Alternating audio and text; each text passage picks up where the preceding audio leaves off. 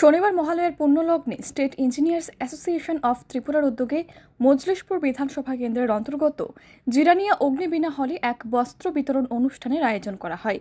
এই দিনের এই অনুষ্ঠানে প্রায় তিন শতাধিক দুস্থ মহিলাদের হাতে নতুন বস্ত্র তুলে দেন রাজ্যের খাদ্য, নাগরিক সরবরাহ, পরিবহন ও পর্যটন দপ্তরের মন্ত্রী সুশান্ত চৌধুরী। অনুষ্ঠানের শেষে সাংবাদিকদের মুখোমুখি হয়ে এই দিনের এই কর্মসূচি সম্পর্কে প্রতিক্রিয়া ব্যক্ত করতে গিয়ে মন্ত্রী সুশান্ত চৌধুরী বলেন, পূজার আনন্দে যাতে সকলে সামিল হতে পারে, বিশেষ করে গরিব দুস্থ মানুষরা যাতে সুন্দরভাবে পুজো উপভোগ করতে পারেন, তার জন্য state engineers association of Tripura রাজ্যের বিভিন্ন জায়গায় বিভিন্ন প্রকার সামাজিক কর্মসূচির আয়োজন করে চলেছে এবং আজকের এই মহতি উদ্যোগকেও সাধুবাদ জানাই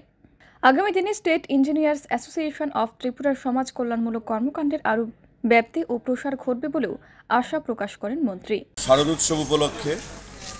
আমাদের রাজ্যের যে স্টেট ইঞ্জিনিয়ার্স অ্যাসোসিয়েশন, তার পক্ষ থেকে সারা রাজ্যের বিভিন্ন জায়গায় গরিব দুস্থদের মধ্যে, সাধারণ জনগণের মধ্যে বস্ত্র বিতরণ অনুষ্ঠানের আয়োজন করা হয়েছে। আজকে আপনারা এখানে দেখতে পাচ্ছেন জিরানিয়া, এখানে আমাদের স্টেট ইঞ্জিনিয়ার্স অ্যাসোসিয়েশনের বিভিন্ন সদস্য উপস্থিতিতে এবং আমাদের বিভিন্ন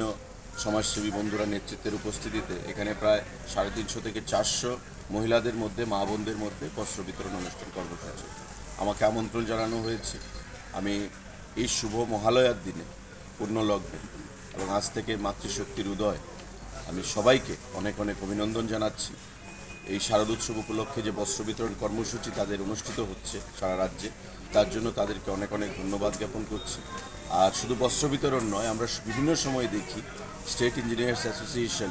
তাদের কর্মপদ্ধতির বাইরে গিয়েও